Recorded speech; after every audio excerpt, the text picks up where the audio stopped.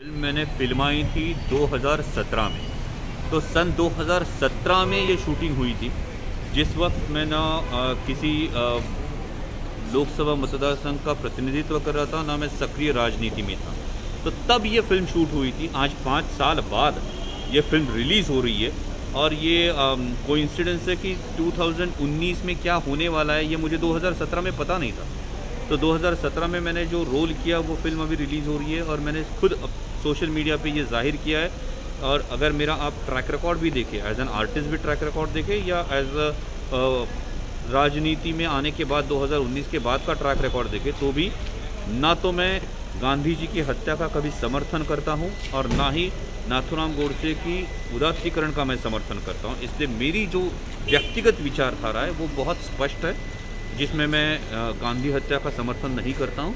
बावजूद इसके, एक कलाकार का जो अभिव्यक्ति स्वातंत्र्य होता है, उस माध्यम से जब निर्देशक और निर्माता मेरे पास आए ये स्क्रिप्ट लेके तो एक कलाकार के तौर पे मैंने ये भूमिका जब समझी तो मुझे ये डेफिनेटली एक चैलेंजिंग भूमिका लगी, जो एक कलाकार के लिए एक चैलेंज एक्सेप्ट करना हमेशा एक ललचाने वाली बात होती है, एक सराहने वाली बात होती है वैसे मैंने ये भूमिका एक्सेप्ट की मैंने वो किरदार निभाया।